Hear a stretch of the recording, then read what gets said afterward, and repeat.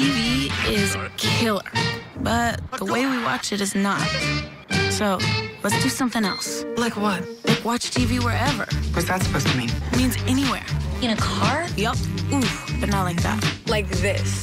Oh, family boat trip! Yeah. And check this. Record as many shows as you want. What? What? I just got chills. I know. TV like made for us. Finally. Finally. Yeah, finally.